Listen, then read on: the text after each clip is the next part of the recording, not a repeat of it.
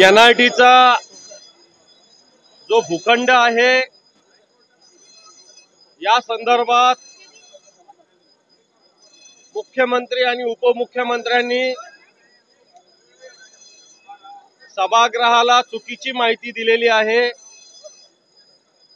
ज्यावेळेस हा विषय आम्ही काल आणि परवा विधान परिषदेत उठवला आणि विधानसभेच्या सदस्यांनी सुद्धा उठवला. यावेळी मुख्यमंत्री आणि उपमुख्यमंत्री अशा पद्धतीनं बोलले की आम्हाला या गोष्टीचं माहीत नव्हतं की हे प्रकरण न्यायालयात चालू आहे.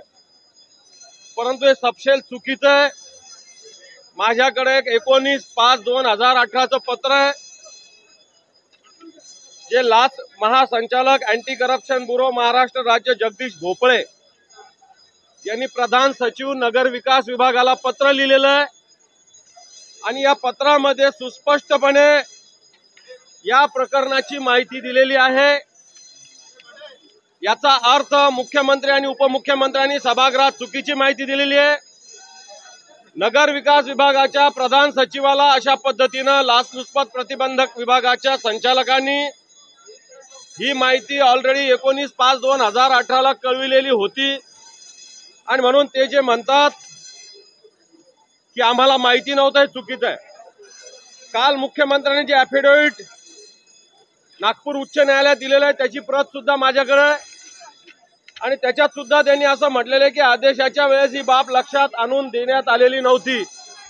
हे अतिशय चुकीचं वक्तव्य आणि चुकीचं अफिडेव्हिट नागपूरच्या सर्वोच्च न्यायालया नागपूरच्या उच्च न्यायालयामध्ये मुख्यमंत्र्यांनी सबमिट केलेलं आहे.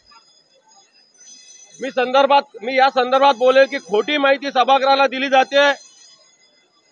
या संदर्भात सभापती दीपक म्हैसकर अश्विन मुदगल शीतल तेली उगले आणि मनोज कुमार सूर्यवंशी या चार अधिकाऱ्यांची सुद्धा चौकशी झाली पाहिजे.